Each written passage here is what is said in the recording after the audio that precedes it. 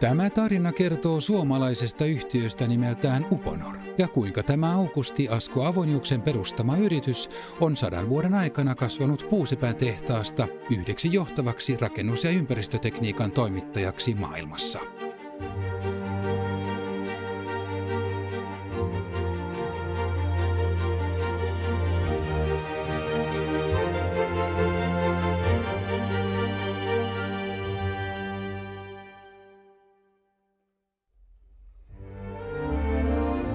Tarina alkaa yli sadan vuoden takaa silloisen Suomen suuriruhtinaskunnan Karjalassa, Aukusti Asko Avoniuksen syntymäseudulla.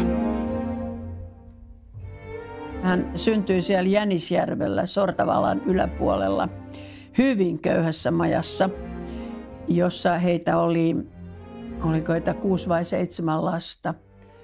Ja eh, hän lähti sieltä sitten maailmalle alle kaksikymppisenä ja meni Sortavalan puuseppäkouluun. Ammattikoulun jälkeen nuori puuseppä Asko Avonius aloittaa harjoittelun maineikkaassa turkulaisessa Buumanin huonekalutehtaassa. Siihen aikaan oli vielä tällainen kisällijärjestelmä olemassa, että oli paras kierrellä eri, erilaisissa puusepän verstaissa, missä sai hyvää oppia. Ja sitä, sitä sieltä kautta sitten Ruotsiin, ja missä näki tämän sitten jo edistyneempiä koneellisia puusepän tehtaita ja sarja, sarjavalmistusta. Ruotsissa vietettyjen vuosien jälkeen Augusti hakee lisää vaikutteita aina Yhdysvalloista saakka. Hän kävi USAssa ja sitten hän 1918 perusti tämän, tämän tehtaan Lahteen. Ja se tuli Lahteen sen takia, että rautatie kulki siitä ohi ja sitten, että hän sai puutavaraa sitten uitettua Vesijärveen myöten Lahteen.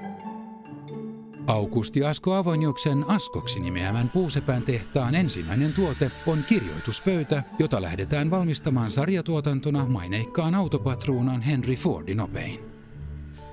Askon kirjoituspöydästä tulee nopeasti konttorijohtajien suosikki.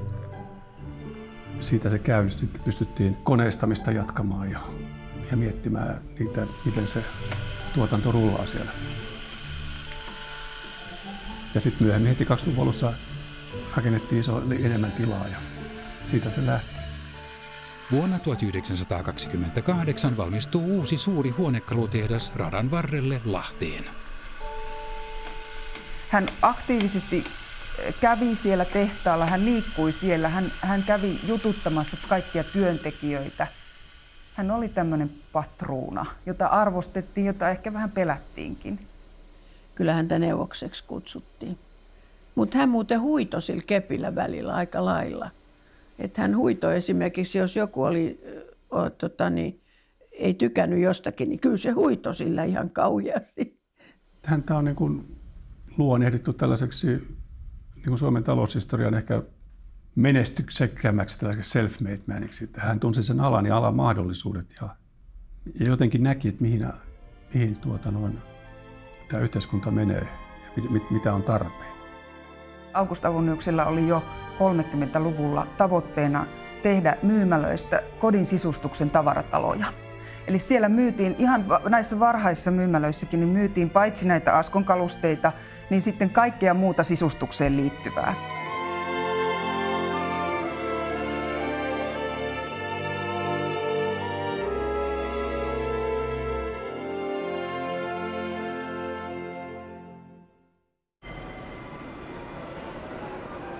1930-luvun loppua kohden Askon puuhuonekalut saavat uuden haastajan, kun metallihuonekalut valtaavat markkinaosuutta ympäri teollistuvaa maailmaa.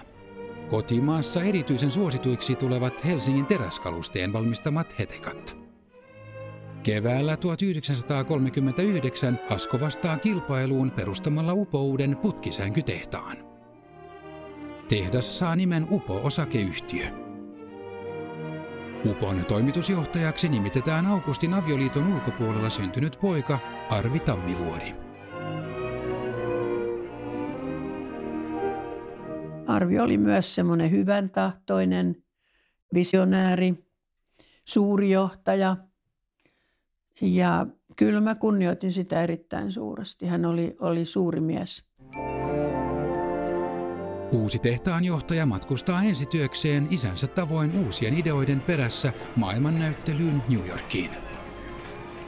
Toisia tällaisia ideoita on taas edelleen tällaista Amerikan meininkiä, että miten asiat voisi hoitaa ja toisenlaisia uutuuksia Suomeen, millä hän sitten loi uposta menestyksekkään.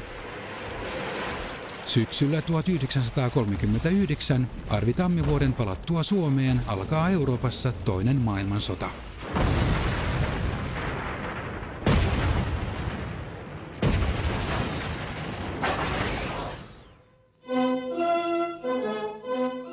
Suomi säilyy itsenäisenä, mutta joutuu suorittamaan mittavat sotakorvaukset muodolliselle voittajalle Neuvostoliitolle. Sotakorvaukset tuovat velvoitteita myös Uholle. Yhtiön vastavalmistuneella valimolla joudutaan aluksi tuottamaan erilaisia metallituotteita. Vasta 40-luvun lopussa valimossa päästään tuottamaan putkia isolla rahalla hankitulla keskipakoisvalukoneella. Vähitellen myös muut Arvi Tammevuoren maailmalta löytämät uudet keksinnöt saadaan upolla tuotantoon. Viimeksi kansi päälle ja niin kone on valmis pakattavaksi ja lähetettäväksi perheen emännälle. Perillä on ja pesu voi alkaa. Hän näki, että Suomessakin kodit alkaa koneistumaan, keittiökoneita ja ensiksi lähdettiin silitysraudoista, ja, mutta sitten tuli kaikenlaista pesukoneita, kaikenlaista pesulinkoja ja kaikkea mitä tarvittiin. Brändi tuli tutuksi kodinkoneen liikkeessä, että Upo ja Rosenleaf olisi kotimaiset johtavat merkit. Augusti tietenkin oli pikkusen kateellinen Arville siitä, että Arvi oli luonut tämän upon. Ja eihän Augusti tehnyt upon hyväksi mitään. Mutta Augusti oli kovin ylpeä tietenkin siitä, että siellä valmistettiin kaikkia kodin koneita ja sitten siellä oli se iso valimo. Se valimohan oli aika merkittävä työllistäjä myöskin Lahden seudulla. Ja se oli Arvin bisnes kokonaan. Ja kyllähän tämän yrityksen vahvuus oli se, että sieltä ikään kuin kotiin saatiin käytännössä niin kuin kaikki.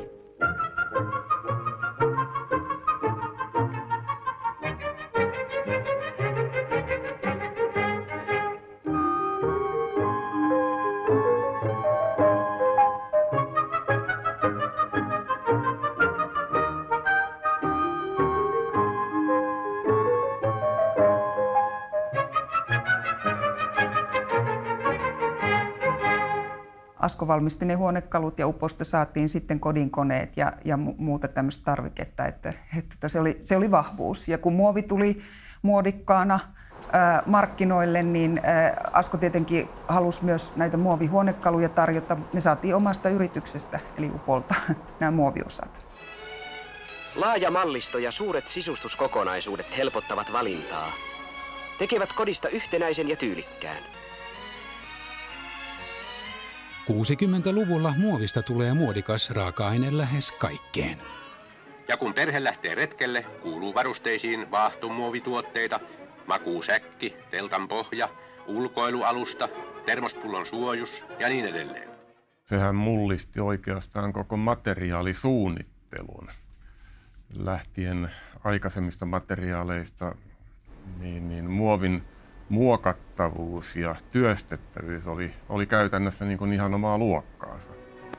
Ja tässä sitä alussa mainittua muoviainetta superlonia nyt on. Mukavalta tuntuu, vai kuinka? Se oli sellainen uusi aine. Ja joku se voisi sanoa, että ihan niin kuin tuntematon aine.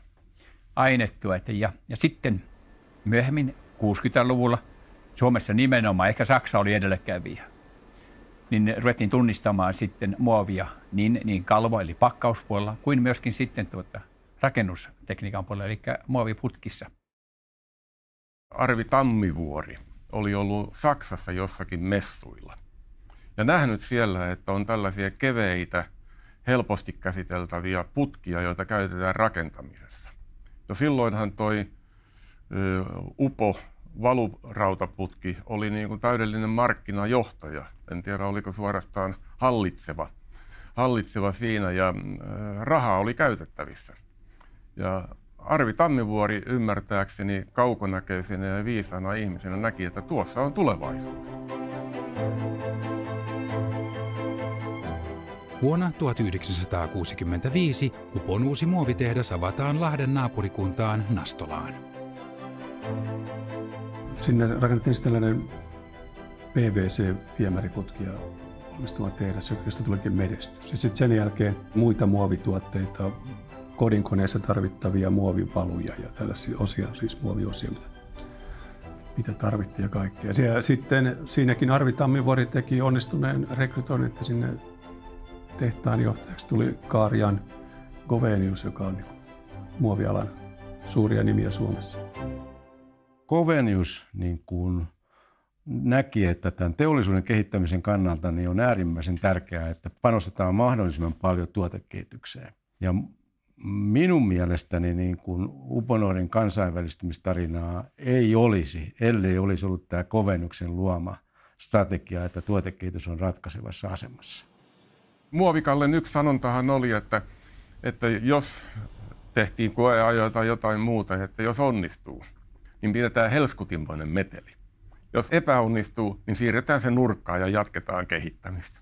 Et siinä ei, niin kun, ei säästetty panoksia eikä aikaa silloin, kun niin kun jotain uutta kehitettiin. Ja se saattoi kestää aikansa, mutta sitten onnistuttiin.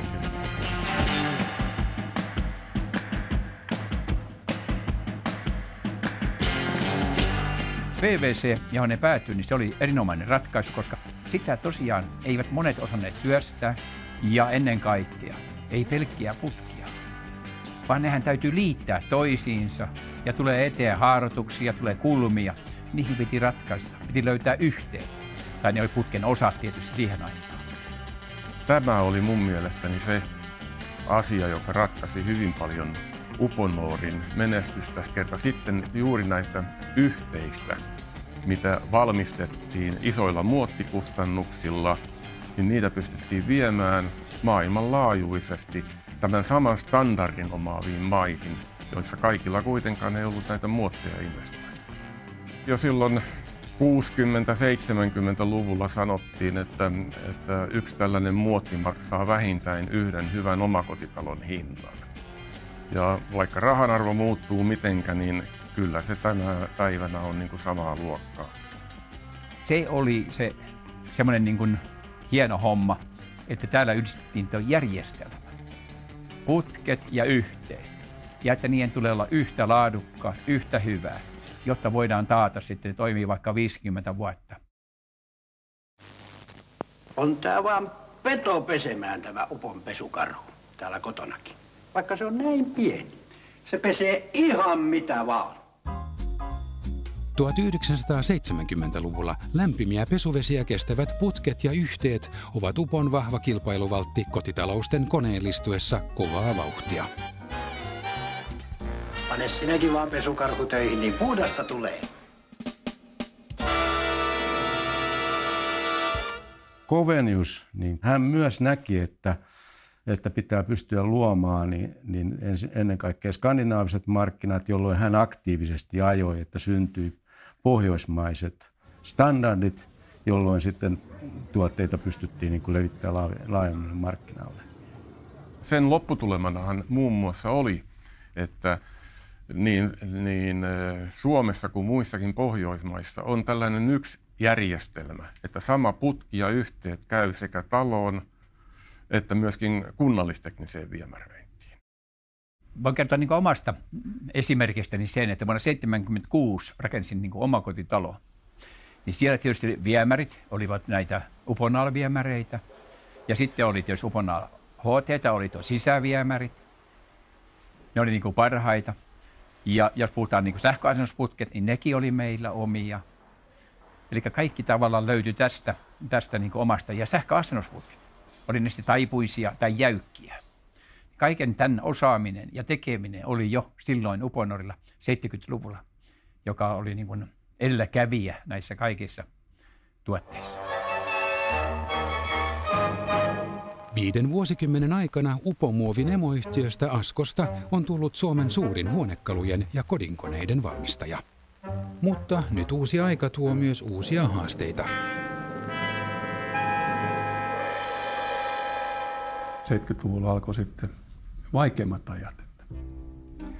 Ehkä firma on saavuttanut tietyn aseman ja sitten, sitten investoinnit unohtuivat vähän ja kilpailijat pääsivät rinnalle ja muutamat menivät ohi. Ja, ja se olikin sitten huono hetki Askolle. Tappiovuosien jatkuessa Askon rahoittaja Suomen Yhdyspankki ottaa ohjakset yhtiössä. Pankin toimitusjohtaja Mika Tiivola painostaa Augustin perillisiä investoimaan lisää yhtiöön tai myymään osakkeensa. Pankit oli niin niskan päällä, suomalaisen teollisuuden niskan päällä, että ei siellä siis eh, mitään saanut teollisuus sanoa. Se oli niin ankaraa aikaa kyllä silloin.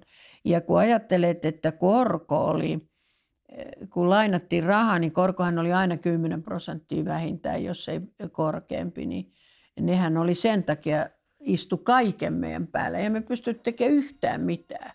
Ne vei meidän rahat. Asko Upo oli iso merkittävä yritys ja iso merkittävä asiakas pankille myös. Ja pankin vastuut Asko Upossa olivat varsin suuret. Eikä ollut ihan yhdentekevä, että miten Asko Upo niin kuin liiketoiminnallisesti toiminnallisesti menestyi. Yhdyspankki oli vaikuttamassa myös Uponorin syntyyn sillä tavalla, että Nestehän olisi halunnut ostaa Askomuovin, mutta tota, Yhdyspankki tietysti Askon suurena rahoitteena ei siihen suostunut. Silloin sitten Lupony Ruotsissa tuli myyntiin, josta, josta Asko, vaikka se, se, sen taloudelliset rahkeet oli heikot, mutta oli joka tapauksessa kiinnostunut siitä yritysostosta. Ja samanaikaisesti niin kuin Neste oli kiinnostunut samasta kohteesta. Pitkien keskustelujen jälkeen niin, niin syntyi sitten tämmöinen yhteisyritys, jossa, jossa Askolle jäi enemmistö kaksi kolmasosaa ja Nesteelle yksi kolmasosa. Ja samanaikaisesti tietysti linjattiin, että Uponoria pyritään edelleen kansainvälistämään. Upomuovi ja ruotsalainen Luponyl sulautetaan uuteen yhtiöön, joka saa nimen Uponor. Me tuota, välittömästi Ruotsin jälkeen niin, niin lähdettiin vallottamaan muita Pohjoismaita, Tanskaa ja, ja, ja tota, Ruotsia.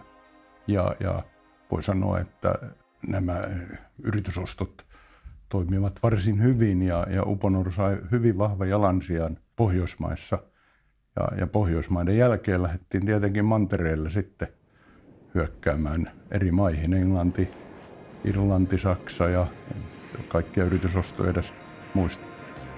Tällaisen kansainvälistymiseen tarvittiin tietysti resursseja, sekä, ei, ei pelkästään rahaa, mutta myös uskottavuutta. Ja, ja Neste toi tälle varhaiselle Ubonorille sitten sellaisia leveämpiä hartioita, joita siinä tarvittiin. Ja toisaalta sitten Nesteelle tämä Uponor oli luonteva oman liiketoiminnan laajennus, sellainen tyypillinen, ää, tyypillistä liiketoimintaa, jota niin raaka-ainevalmistajat harjoittaa sitten valmistavan teollisuuden puolella. Mutta molemmat, molemmat komponentit tarvittiin, nämä tuotteet, se tahto lähtee maailmalle ja sitten joku iso kumppani, joka on auttamassa siinä sitten.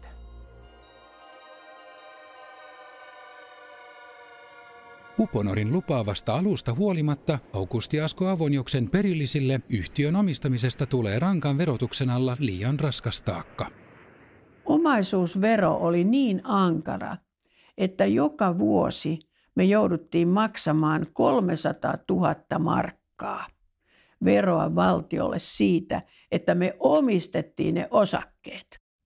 Ja meillä ei ollut mitään tapaa niin kuin saada rahaa sieltä yrityksestä, kun se ei ollut siis, siis tota, e, me ei saatu sieltä mitään voittovaroja ulos. Me oltiin niin kuin pakotettu myymään. Ja tämä johtui kokonaan tästä varallisuusverosta, joka silloin oli aivan hirvittävä. Pankkimaailman uusi suomalainen suurpelaaja, säästöpankkien keskusosakepankki Skop, pyrkii yhtiön omistajaksi. Askon perilliset niin, niin myivät Askon osakkeensa Eh, Skopille 22 prosenttia runsas Askon omistuksesta. Näin jälkeenpäin voi sanoa, muistaakseni he saivat siitä 24 miljoonaa, mutta jos olisi muutaman vuoden varttuneet, niin olisi saaneet 80 miljoonaa ja vielä mu- muutama vuosi, niin 160 miljoonaa.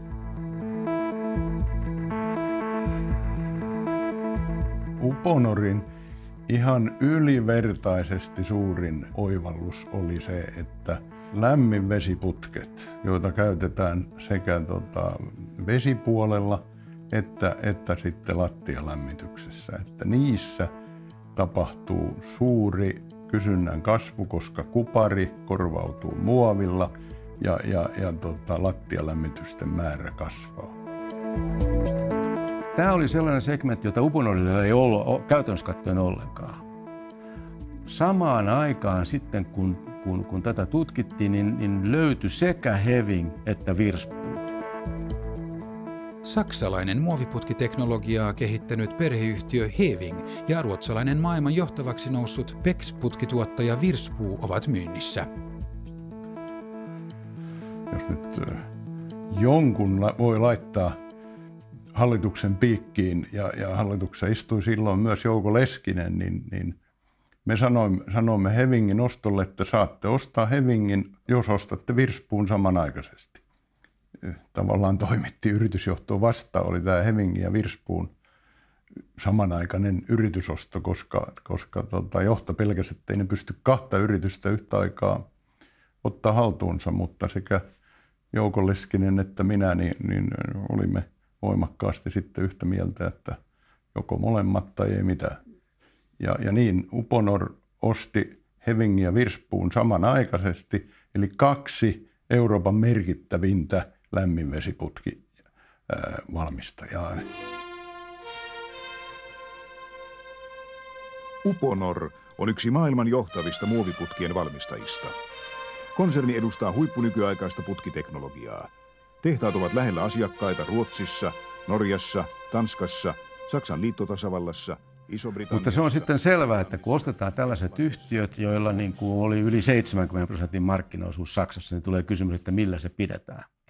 Ja, ja siinähän meillä oli sitten onni saada, saada niin kuin koko tämän divisionan johtajaksi Åke Forsell, joka sitten rakensi tämän multi-brand, multi-channel strategian. Ja sillä se sitten pysyi hyvin – ja, ja, ja, ja tota, saavutettiin erittäin hyvä kannattavuus ja oli sitten mahdollista taas jatkaa eteenpäin.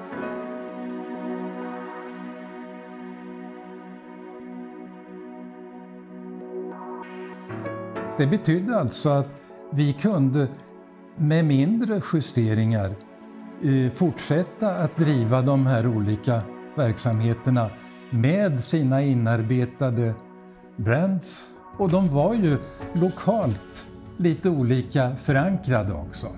Heving, Polyterm hade var sin del i, av den tyska marknaden i huvudsak.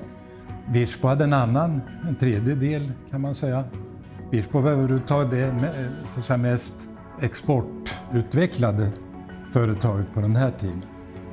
Men det här innebar att det gick egentligen ganska bra eh, att arbeta med de här företagen i sina hävdvunna eh, marknader.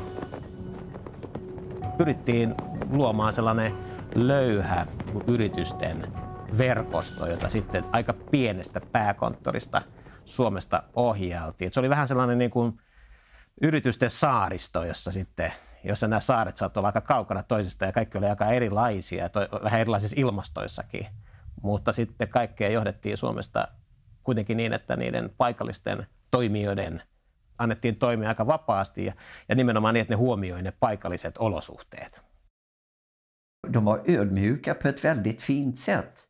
De här led, ledningen i Finland och ja, hela, hela koncernledningen. Så det, vi hade ett väldigt trevligt och fint samarbete med dem och de litade på de investeringar som vi ville göra, som vi gjorde då framförallt i nya bolag som vi bildade lite. Och vi köpte upp agenter och sånt där. Det var, vi hade en väldigt bra förståelse för, ifrån Finland för den, de jobb som vi gjorde och de investeringar som vi gjorde. Inte bara i företag utan även maskinellt. Jag blev eh, imponerad av deras strategiska satsningar, deras sätt att hantera de här bolagen när de hade kommit in med vår lite vildvuxna hot water business, med deras satsning på kvalificerad VD-utbildning i Schweiz etc.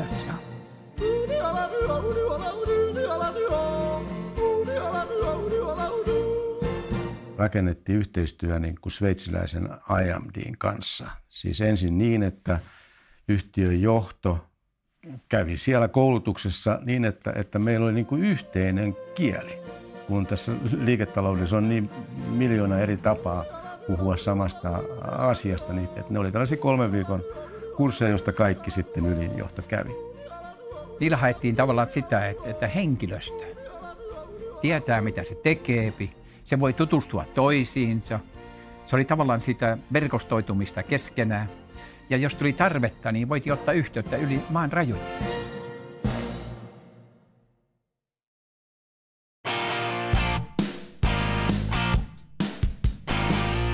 ...1990-luvun alussa Euroopan valloituksessa hyvin onnistunut Uponor ryhtyy rohkeaan Amerikan markkinoiden valloitukseen. Irspuu oli perustanut sinne Minnesotaan niin kuin Greenfield yhtiön ja aloitettu hyvin pienimuotoisesti sitä PEX-putkien valmistusta. Ja se oli tällaista varsin hidasta se alkuvaiheen kehitys. man inte fick igång lönsamheten från början, det var naturligtvis att de här produkterna var fullständigt okända. Det fanns inte PEX-rör i USA förrän vi kom dit. Och eh, vetskapen om att man skulle kunna ersätta de traditionella rören, den fanns inte heller egentligen. Vi var tvungna att även där börja ut, eh, utbilda våra kunder. Och eh, vi var tvungna att utbilda våra egna medarbetare. De hade heller aldrig sett de här produkterna förut. In a Wurzbo hydronic radiant floor heating system, the entire floor becomes a low temperature radiator, transmitting the exact amount of energy needed to heat a room. Ensiksi yritettiin niin ruotsalaisvoimin. Siinä meni muutama vuosi, kun huomattiin, että Amerikan markkinoilla kuitenkin sitten tarvitaan amerikkalaisia toimijoita, eli tarvitaan ihan amerikkalaista osaamista, paikallista osaamista, ja, ja osattiin sitten muuttaa sitä omaa mallia sellaiseksi, että sillä päästiin paremmin pureutumaan niille, niille Yhdysvaltojen markkinoille.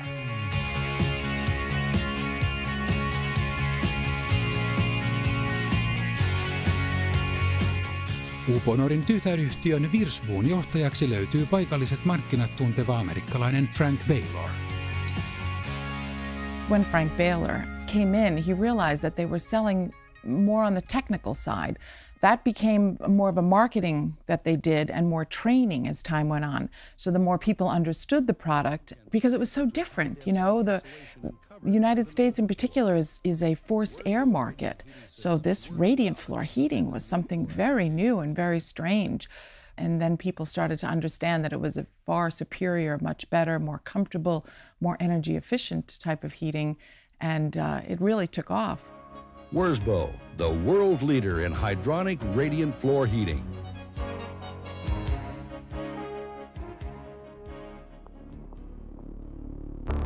Teollisuustuotanto ei ole laskenut nykyistä vauhtia kertaakaan aiemmin tällä vuosisadalla. 90-luvun alussa sekä Suomi ja Ruotsi oli hyvin vakavassa talouslamassa, ihan oman taloushistoriansa niin kuin syvimmässä ää, talouslamassa, joka vertautuu sinne 1930-luvun suureen lamaan.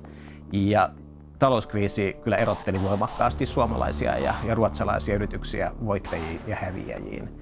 Ja siinä vaiheessa Uponor oli kuitenkin jo niin kansainvälistynyt ja se oli niin pitkällä jo tässä niin kuin Euroopan valloituksessa ja se Amerikan, Amerikan markkinoiden valtaaminen oli ehtinyt jo alkaa, vaikka vielä ei, ei kauhean pitkällä ollut päässyt, että, että yritys selviytyi näistä vaikeista lamavuosista selvästi paremmin kuin monet muut suomalaiset yritykset. Ja se johtuu pitkälle siitä, että se oli ehtinyt jo laajentua niin voimakkaasti muualle Eurooppaan, että nämä vaikeudet täällä kotimarkkinoilla Suomessa ja Ruotsissa ei vakavasti vaurioittanut sitä yritystä silloin. Vuonna 1995 Suomi liittyy Euroopan unioniin. Vähitellen Suomen talous alkaa elpyä syvästä lamasta.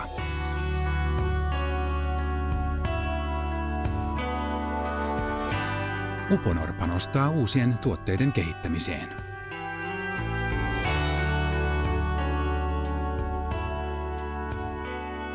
Kokkomuovisissa käyttövesi- ja lämmitysputkijärjestelmä on se ongelma, että se, se, se putkihan ei pysy niin kuin ryhdissä, että jos tehdään pinta-asennuksia.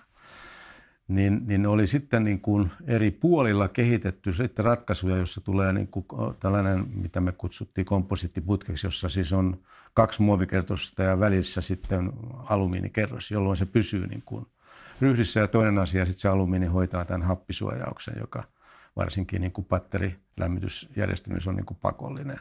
Nyt sitä teknologiaa oli Hevingillä niin kuin kehitetty niin, että, että tota, siellä oli kaksi linjaa, mutta se, se, se prosessi osoittautui erittäin hankalaksi ja todella vaikeaa. Ja sitten samanaikaisesti sitten tiedettiin, että Unicor oli niin kuin kehittänyt tällaista menetelmää tämän samanlaisen putken niin kuin valmistamiseksi. Ja Tämä prosessi kesti sitten todella pitkää ennen kuin sitten päästiin siihen, että se, se, se osto tuli mahdolliseksi. Saksalaisen Unicorin oston myötä Uponor keskittyy vesijärjestelmien tuotantoon.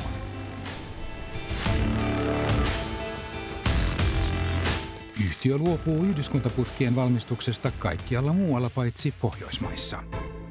Näin nopea ja rohkea, niin harkittuja riskejä ottava laajentumis- ja kansainvälistymistarina ei ole ihan tyypillinen Suomen yrityshistoriassa. Erityisesti just sen takia, että se tapahtui niin nopeasti ja siinä hyödynnettiin tätä isoa murrosta, joka tällä kentällä oli Euroopassa ja Yhdysvalloissa tuona aikana menossa. Syksyllä 1999 valtion suurenergiayhtiöön Fortumiin liitetty Neste päättää luopua Uponorista ja keskittyy öljytuotteisiin. Ja silloin sitten tuota Sampo, joka oli aikaisemmin jo, ja myöskin Varma, joka jo, molemmat oli aikaisemmin olleet jo, jo tota noin niin Asko Oyjin osakkaina, niin sitten heidän kanssaan keskusteltuamme niin löytyi sellainen ratkaisu, että me voitaisiin kolmestaan niin kuin tehdä, tehdä se kauppa sillä tavalla, että Oraksesta tulee sitten suurin omistaja, koska se oli taas meidän, meidän ehdoton edellytys, että me haluamme olla suurin omistaja ja tietyllä tavalla istua kuskin paikalla, jos niin voi sanoa. Sitten kun me tulimme siihen, niin, niin strategia muuttui. Siellä oli valtavasti brändejä, tuotemerkkejä, yritysnimiä se oli aikamoinen niin kuin siilo. Ja meille oli itsestään selvä se, että meidän pitää vetää Uponorin lippu salkoon, satsata yhteen brändiin. Ja se brändi on Uponor.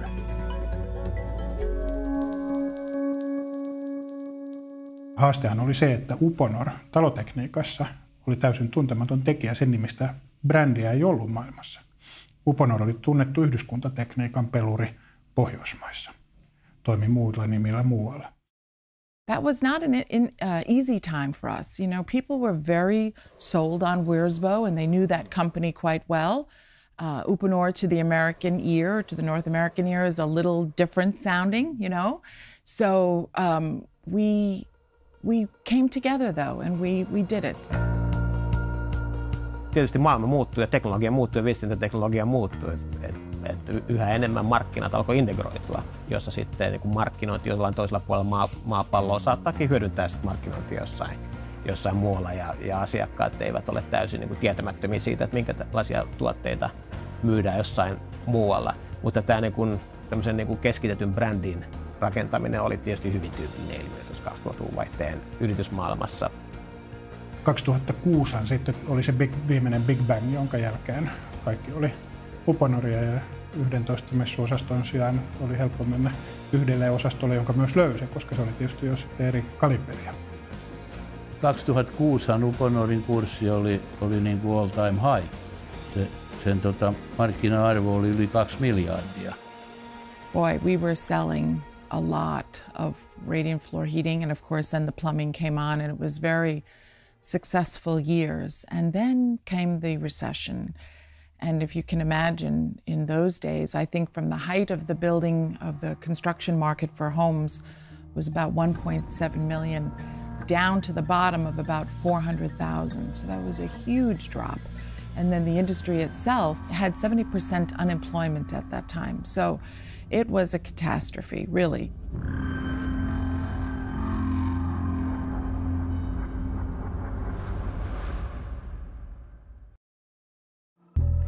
Vuonna 2008 Yhdysvaltojen rahoitusmarkkinat romahtavat, kun asuntojen hintoihin kertynyt kupla puhkeaa. Käytännössä uudisrakentaminen pysähtyy kaikkialla maailmassa. It was a very difficult time and we had to lay some people off and we had to be very, very careful about what we did. Um, but I also think out of those difficult times, we you must become smarter about how we do business. And we realized that was the time that we realized we needed another, I like to call it another fishing hole, another place to we could find opportunity. And that's when we really started to focus on the commercial industry.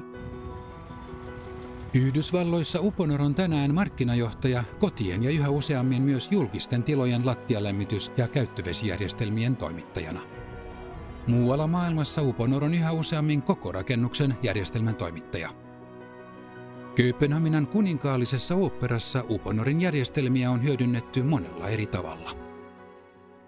First of all, they wanted floor heating because um, outside the, the uh, performance hall itself in the foyer, it, it was a very high uh, ceiling, and that's where, where a floor heating system is very good because of the very uh, uniform temperatures.